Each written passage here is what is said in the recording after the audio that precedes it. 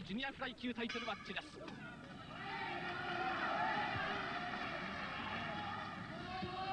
期待と希望を表す勝利の色ということです。グリーンのトランクスサボタ。いきなり右を払いました。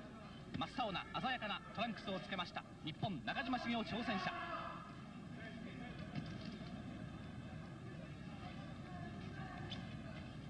両選手の厳しい目つきが私の目に映ります。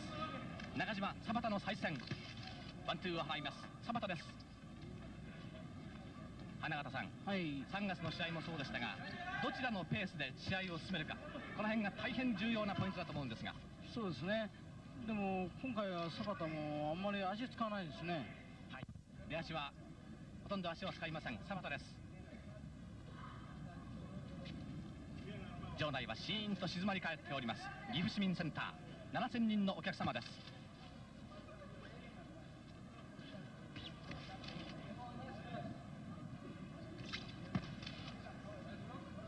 青いトランクス背中中島顔がサバタ。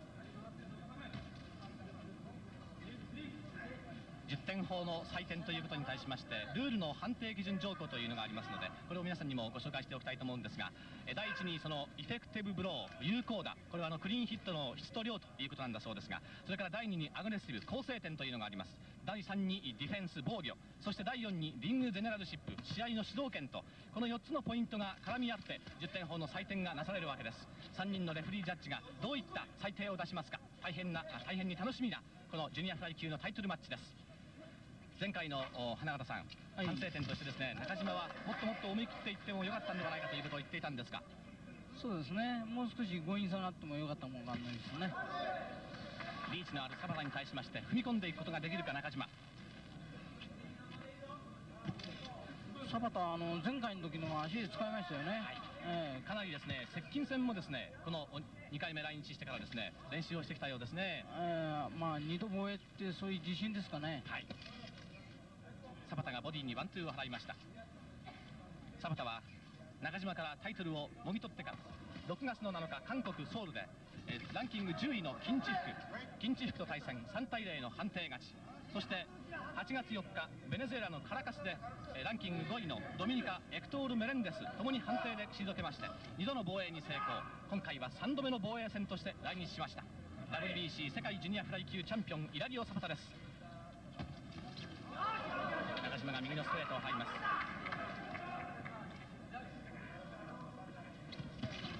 ワンツーから踏み込んでいった中島です。シュッシュッ音を立てまして中島が前進します。パンチを避けています中島。第1ラウンドが終了しました。中島茂雄 WBC 世界ジュニアフライ級1位です。新春1月3日金星春を反対例の文句のない判定で破りましてチャンピオンになりました。そして初防衛戦サバタに敗れました。そして今回は再チャレンジということです。指示を受けます中島。第2ラウンドが開始されました。て先ほど花形さんがですね第1ラウンド、サバタは前回よりも足を使わないと言っていましたけれども中島の方はどうでしょうか？第1ラウンド。まあ前回とは変わらないですね。あのー、もう少し強引さがあってもいいかもわかんないですね。あの、えー、あの打ち合っても。サバタのパンチをかいくぐって中に入ろうという中島茂雄です挑戦者。サバタは身長が167.5センチ。リーチも同じ長さです。長島が身長160センチ。リーチが156センチ。つまりサバタが身長で7.5センチ。リーチで11.5センチ。中島を上回っております。右のストレートサバタのワンツーを返します。サバタの左ストレートというのはどうでしょうか？威力とはどういう威力というのはどのくらいあるんでしょうか？うんまあ大してないように感じますね。打ち方。上からなんか打ち下ろすような感じですからね、はいただこの再戦ということになりますとですねお左のボディです。ストレートを伸ばします。サバタ。再戦ということになりますと花形さんも再戦という経験がありますね。そうですね。僕もあの50年だったですかね、はい、あの4月に富山でやった試合がちょっと揉めて再戦になりましたけどね。はいサラバリアでしたか、えー、そうです。はい。その時ですね再戦するまでの気持ちというのはどうなんですか、はい、うん僕はまあ前回と、ね、同じようにまた打ち合いでいこうと思ったわけですよね、はい、まあしたらサラバリアの方が少し作戦を変えてきましたよね。まあ、それだけお互いに成長するでありましょうし特にチャンピオンになったという自信というのがね今回のまあ大きいですね。このウィービングそしてダッキング田畑の得意の戦法。右にストレート。前回の試合でもあのストレートが何度も田畑の顔面を捉えました。ただ田畑のあの右のリードブローそして左のストレートこういったところがどういうふうに判定に跳ね返るのか採点に跳ね返るのか。WBC 世界ジュニアフライ級タイトルマッチ15回戦は第2ラウンド。ボディへのストレートですぐアッパーを。おこの辺のコンビネーションなかなかいいですねサバタ。ワンツーです。サバタのワンツー。まあ大して威力はないんですけど。なかなかいい右出しますね。はい。あれちょっと邪魔でしたよね。はい。ボディへのストレートサバタです。ス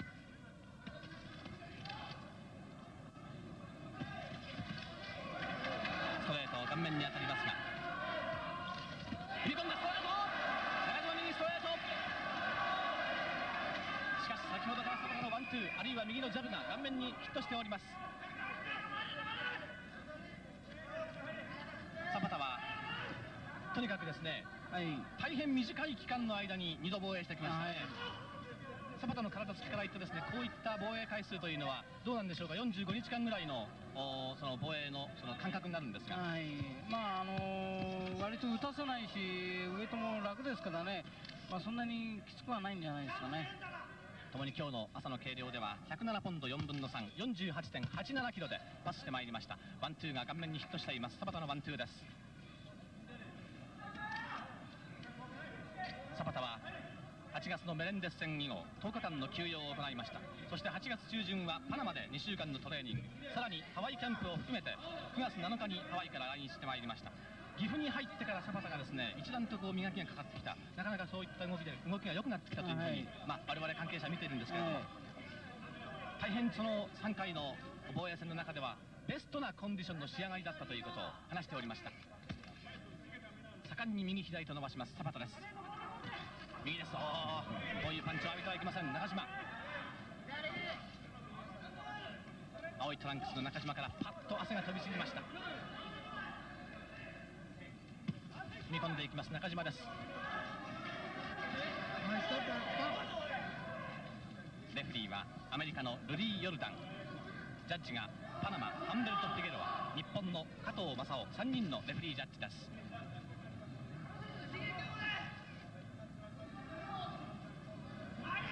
しい打ち合いはまだ見られませんが時折ご覧のように右を伸ばします。そして左を当てます。田畑。あ中島君、はい。右目を切ったんですかね。右の目尻目尻ですね。はい。献血が流れ出ました。中島です。右の目尻のカットです。お正月の金星春戦でも左の目尻そして右の目尻と大変に激しい出血の中で戦いがありました。中島の古傷です。ジャブを当てます。チャンピオンサバタワンツー右のボディーブロー。コンビネーションに磨きをかけてまいりました。左のサバタ挑戦者。第3ラウンドが終了しました。この辺り挑戦者中島。両選手の体格表の差をご覧いただきたいと思います。サバタは22歳です。中島は26歳。ご覧のように身長リーチの差があります。48.87キロ。107ポンド4分の3でパスしてまいりました。今日の計量。試合は第4ラウンドに入ります。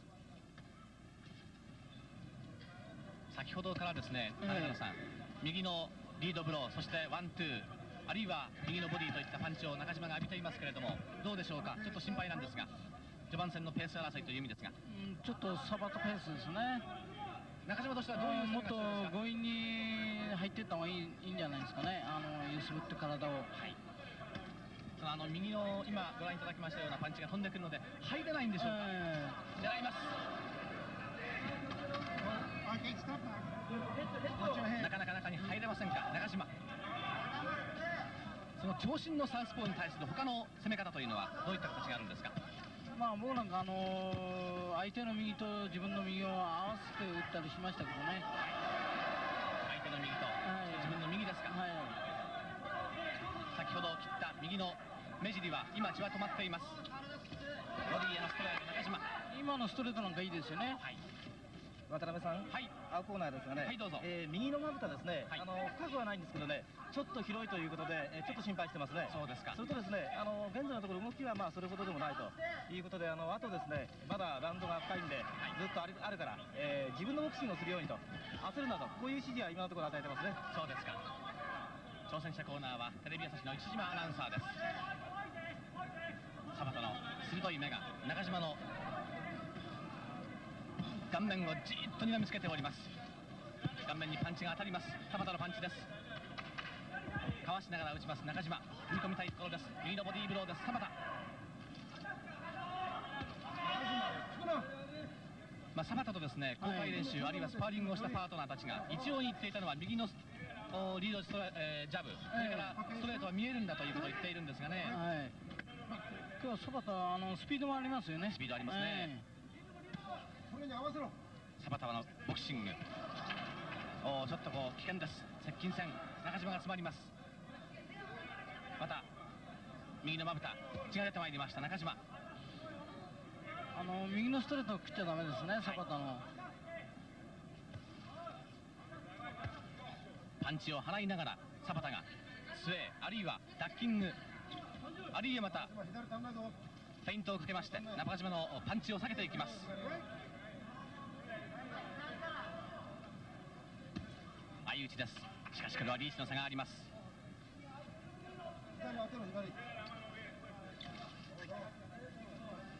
焦るな心配するなという青コーナーの指示だそうです。中島茂雄挑戦者。第4ラウンド10秒を切っています。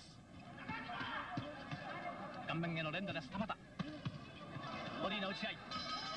第4ラウンドが終了しました。第4ラウンド花原さんの採点このラウンドもチャンピオンイラリオ・サバタが取っております。試合をご覧いただきます。まあ中島はですね、はい。えー韓国の近畿伏線を見に行きました。そしてメレンデス戦をですね、えー VTR テープで研究したということなんですけれどもサバタのこの良くなっている点これをちょっと解説していただきたいんですが。うまく上下打つようになりましたね。あの力強くなりましたね。やはりそれはですね、はい。この2度防衛してきたんだとそういい。うう自自信なんでしょうか、信自信じゃないでしょうかね。手元の採点では3ラウンド4ラウンドサバタが取りました。放送席、はいどうぞ。えーチャンピオンコーナーですがね、はい。えー3ラウンドあたりから時折距離が詰まりますんでね、えーディフェンスを忘れるなと、右に回って右のリードブローをもっと多くと、そういう指示が飛んでいます。なるほど。右回りに展開してリードブローを出せという赤コーナーチャンピオンコーナーの指示です。名古屋テレビの浅沼アナウンサーからの報告でした。試合は第5ラウンド。中島らしさがまだ見られません。接近戦でボディーを打ちます中島です。そういった意味でその中島はサバタの成長過程を自分の目で確かめたこともあります。そして VTR でテープを研究したという経験もあります。サバタの動きのその成長の過程を見てきた中島がどういう戦いをするんでしょうか。第5ラウンド。サバタがパンチを当てます。右のボディです。顔面からボディを打ちます。サバタ中島の右のストレートは届きません。詰めます。中島です。左を離しました。サバタです。サバタは勘がいいですよね。はい。右のボディーブロー。田畑のボディーです。中島の左の脇腹を捉えています。この辺のスウェーのうまい。田畑の動きです中南米特有のサルサのリズム中島はまた出血が始まりましたストレートを伸ばします中島茂雄ポンとこう下へダッキングして避けますねパンチをそうですね。だから少し低めに打つといいんですよね。はい低めにですか、ええそれはあのサバタが下がるところを打つとそうですね。あのーダッキングしますからね。はい、アッパーを突き上げたサバタです。また右のアッパーワンツーです。サバタ。右のストレート。しかしこれはちょっとガードされていました。左のボディから右フック。左のストレートです。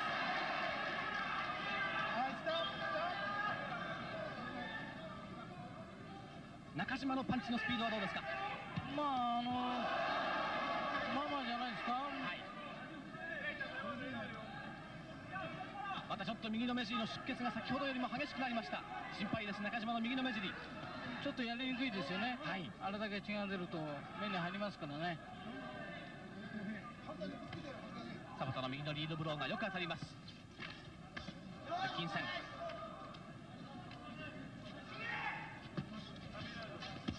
接近戦でボディをコンコンと叩きますボディーブローですレフェリーから注意が入ボディーブローです田のパンチです。第5ラウンドが終了しました。第挑戦者コーナーの中島です。中島ですね、えーはい。さん。まああ再三この減量の苦しみというのがかかってくるわけなんですが、はい。えー普段の体重が大体60キロであるということで、えー48.97キロそのジュニアフライ級のリミットに落とすにはですね11キロ近い減量があるわけなんですが、はい。この減量から来るその動きというのを今日はどうですか？うんまあそそう見られないですけどね。あの割と早めに落としたらしいですからね。結構コンディションとしたらいいって言ってましたからね、コンディションはまあ申し分がないということを試合前、えー話は聞いておりました。この4段階そので減量でですねポイントを定めて中島はその目方を落としていたということを話しておりました。詰まります。サ田ですが回り込みます。その自ら詰まって誘いをかけたというような感じもしたんですがね、ええあの回り込みも早いですね。はい。打ってはすぐ回り込みますからね。右のストレート中島が短いパンチを当てましたけれどもサ田のパンチも顔面に中島の顔面に当たっていますワンツーです。中島が追います。左が入ります。ショートで右のストレートを放ちます顔をスッと中島の顔の反対の方に向けますね。そうですね。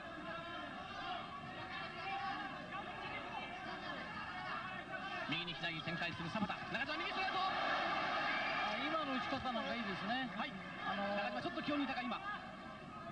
右を続けて2回ストレート打つのはいいですよね。あれ当たりますよね、サウスポーに対してただいくらですねそのええパンチ力はないと言ってもですねその左のストレートを浴びていてはいけませんね。そうですね。ボディへのストレートです。右のストレート中島です。このラウンドはちょっと動きが違います。左を突きます。右ストレート。中島ちょっと動きが変わりました。いいですね。中島君出てきましたね。はい。指示の変化があったのでしょうか。田も左のストレートを伸ばします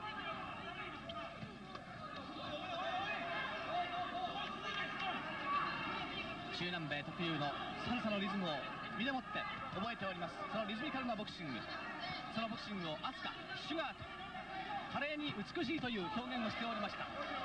チャンピオンのサパタですサパタの左ストレートです。追っていきます。中島です。ニュートラルコーナーに詰まります。サパタ。レフリー。4段が分けます。ワンツー。サバタのワンツーです。右から左。面にクリーンヒットしています。中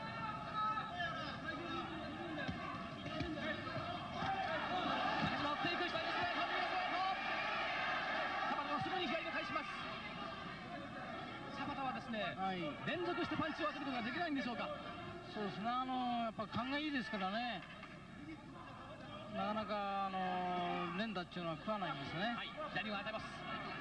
中島このパンチをもらってはいけません第6ラウンドが終了しました。第6ラウンド花形さんの採点10対10差がありません。いただきます。右から左。これは当たってますね。はい。試合は第7ラウンドです。チャンピオンサバタ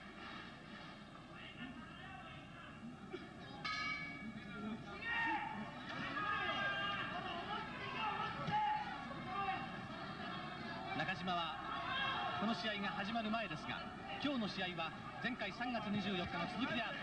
つまり今日の第1ラウンドは第16ラウンドであると話しておりました。そういった意味からいきますとすでに22ラウンド目ということになります。いきなり右を持っていきましたがアッパーを浴びました中島。リズミカルなサバタのボクシング。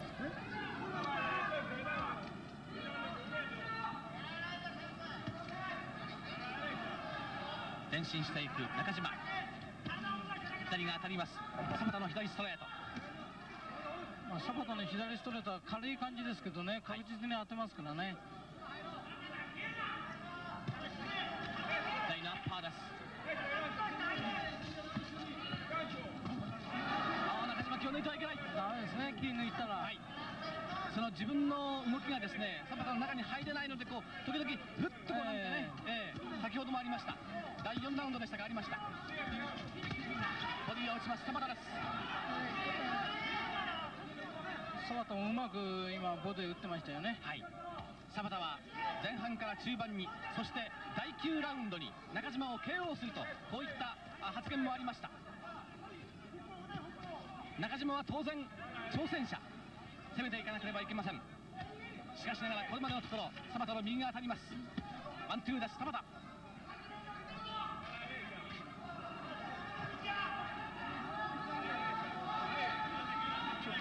ょっとこのペースじゃサバタペースですね、左のストレートです。今のは中島が一発打つ間にパンチが4発中島に当たりました。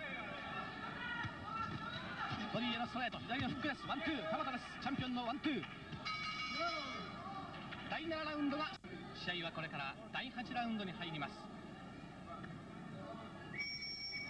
さて花形さん、はい。まあ、あの15ラウンドを戦うとにですね、私もよく話を聞くんですけれども、ふっとこうなんと言いますか、1ラウンドあるいは2ラウンドですね、はい。それまで良かった動きがまるっきり変わってしまう極端なポイントがあると、まあ、ブラックホールのようなですね、ええ。時が一度あるというようなことを聞いたことがあるんですが、そういったことはその15ラウンドの長丁場ありますか？そうですね。ちょっと気が気抜くとかありますからね。あのそういう時来るとそういう感じになりますね。確かに威力はありませんが、チャンピオンの多彩なパンチが中島の顔面に、あるいはボディにと、面白いように当たります。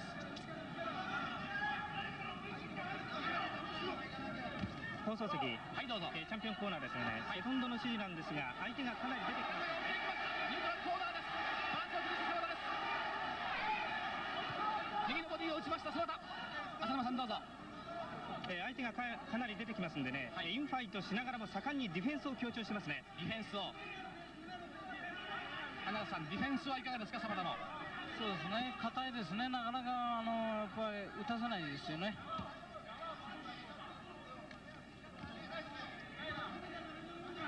ご覧のようにボディに顔面とサバタの方も多彩なパンチを当てます。右のフックです。右のストレート。リードパンチが本当に中島の顔面をよくヒットさせています。右のボディ大フック中島がフックを返しました。今の左フック良かったですけどね、その前にちょっと打たれてますからね。そうですね。えじりっじりっと追いかけていきます。中島茂雄。挑戦者。米倉会長を離して右手の左のアッパーです。うーん顎がふっと上がりました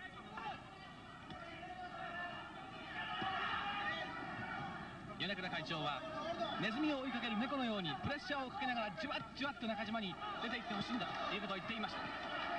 渡辺さんはいどうぞ。その米川会長なんですけどね、ええーいつも大きい声出すんでね今日はあのじっとしてますってほとんど声出してませんね。そうですか。それでですね、あのーいよいよ中盤になってきたんで、えーもっと手を出すようにとこういう指示しか出していません。ワンツーワンツー3連だもっと手を出すようにということなんですがサパタのワンツーワンツー連打で放ちます。ワンツーです。中島が入れない。中島一発を狙っているか。あーっとバランスを崩した。左のフックはバランスを崩しました。中島は一発を狙っていたんでしょうか、ええまあ打たして打つつもりでいたんでしょうけどね、打たしちゃダメですね。ダメですね。えワンツーの連打です渡辺さんはいどうぞそれとですねあの大先輩の柴田邦明選手ガッツ石松選手がですね、えちょうどあのコーナーの下にいましてねあの何しろノックアウトを狙わないで自分のボクシングで勝つボクシングをしろと、はい。こういうことを言ってますね。勝つボクシング。をしろ盛んに、はい、で盛んに声援を送ってますよ。はいそうですか。左のジャブから右のストレートは空を切りました中島。第8ラウンド左フック空振りで大きくバランスを崩しました。1回転しました。なかなか狙って当たるもんじゃないですからね。そうですね。ええやっぱり連打ですよね肉を切らして骨を切る中島はそういった考えを持っているんでしょうか。ワンツーが本当にたくさん中島の顔面に当たりました。第8ラウンド終了です。第8ラウンド花形さんの採点このラウンド右中島が追っていきます。回り込みます。そしてまた左。で右。そしてまた右左。確かにです。ね田畑はいろんなところからパンチが出てきますね、ええよく手が出ますよね。試合は第9ラウンドです。中島がこのラウンドポーンとコーナーを飛び出してまいりました。第3ラウンドで切った右のまぶたですが現在は血が止まっています。止血を受けました。第8ラウンド左フックの空振りで大きくバランスを崩しました中島。手元の採点では現在4ポイント。チャンピオンがリードしています。柴田中島。3月24日の再戦。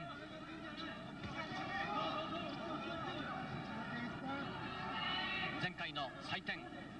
3対0の判定に対して中島が JBC を通じて WBC に提訴いたしました。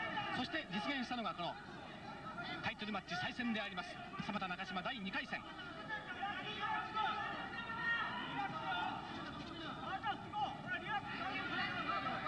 まあ確かにこのサバタを見ておりますとですねその中南米パナマという国はですね今あのロベルト・デュランというチャンピオンがおりますけれども、はい。そういったあのボクシング王国ですよね。そうですね。あのみんなちっちゃい頃からやってますからね。ボクシングがみんなうまいですからね。体でこのリズムを覚えます。右のボディーブローです。ボディを打った後すぐに左を放った中島なんですが距離が届きませんでした。第1ラウンドからこういった形で試合展開。同じような試合展開が続いております。試合は第9ラウンド。今度は中島右の目の下でしょうか擦り切れたような形で血が出てまいりました。1分半を経過している第9ラウンドパンチが当たります。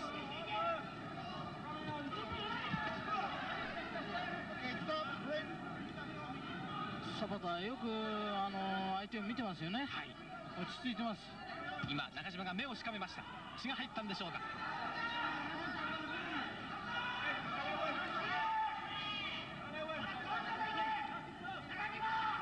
サバタのこのブロックというのはどうですか？先ほどそのもっと防御をしっかりしろというような赤コーナーの指示の時がありましたが踏み込める余地はないんでしょうか？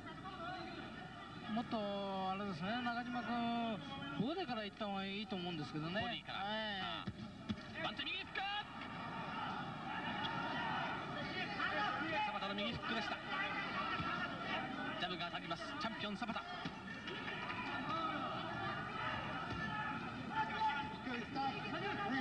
中島は半年間半年間じっと待ちました。我慢に我慢を重ねてこの日を待っておりました。その中島の力がいつ爆発するんでしょうか。試合は第9ラウンドです。アッパーを狙います澤田右のフックです。右から左。左が伸びます。距離があります。リーチがあります。ロープに詰まった中島です。中島がロープに詰まっています。9ラウンド終了しました。第9ラウンドこのラウンドも10対9澤田が取っています。ナックアウトはありませんでしたが澤田のワンツー。連打で中島の顔面を捉えました。第10ラウンド開始です。サバタの KO ノックアウト予告の第9ラウンドは終了しましたが試合は終盤に入っていきます。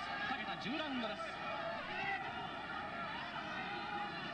ちょっと中島君右ストレートを狙いすぎですよね。そうですか、あの左を当てるようにしなきゃダメですね。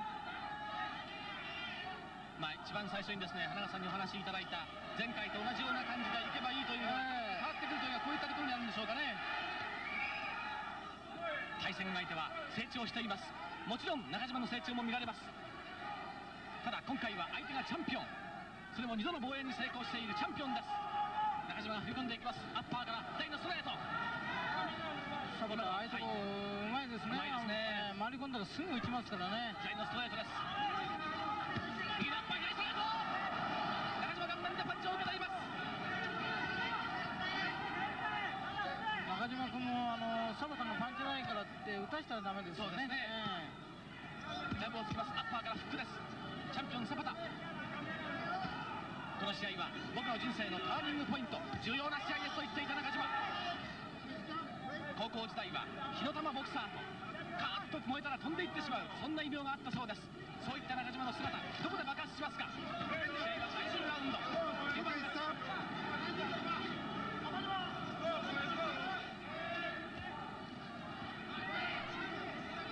決して自分のボクシングは喧嘩ボクシングではない。しかしながら自分の気持ちはもちろんサバタの前回の試合でボクシングを対戦して敗れたそのプライドは傷つけながら今回は絶対に勝ちたいと言っていた中島ストレートを狙います中島です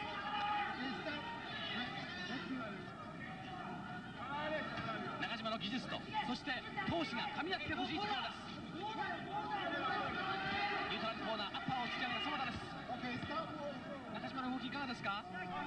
ちょっとなんか疲れてきたような感じします9ラウンドの最後に浴びましたパンチああちょっと動きが止まっています中島危ないぞ鎌田がスイングしまして右のボディ左のボディです低いところですギリギリのところですワンツー鎌田のワンツーですちょっと中島君もス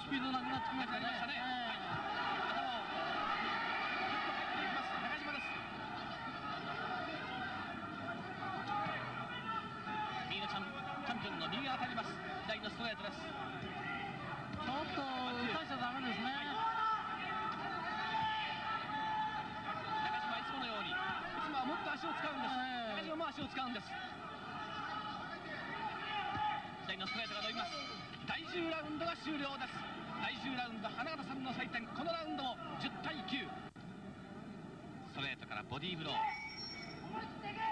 くパンチが出ます。チャンピオンサバタ。さて試合は11ラウンドです。残り5ラウンド。し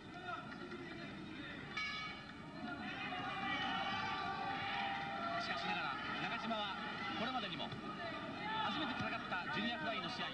1月3日の金星新戦。逆境に立った時に中島はその力を発揮しました。現在まで手元の回転でもサバタのフルマーク。しかしながら中島の持っているその気持ちの燃え方。再起を誓う中島の気持ちに我々は期待したいと思うんです。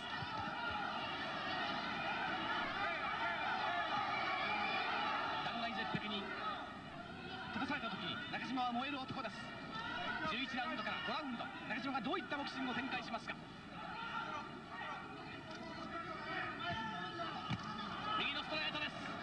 あそこで止まってるから打たれちゃうんですよはいね完全にサバタの距離ですね。そうですね。リーチの差があります。身長の差があります。左のストレートが飛んできます。中島踏み込め。中島君あの左を当てるようにしなきゃダメですね。左をですね、えはい、中島もやはりあのサバタの右のリードブローの左のリードを出していかなきゃいねね。ええ。それから右ストレートですよね、はい右です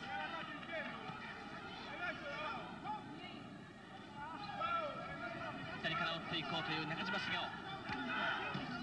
右が飛んできます。中島の表情が険しくなっています。試合は第11ラウンド。チャンピオンサバタ。ほとんど足を今使っていません。誘っているんでしょうか。中島が追い込みます。クリンチで逃れます。チャンピオンサバタ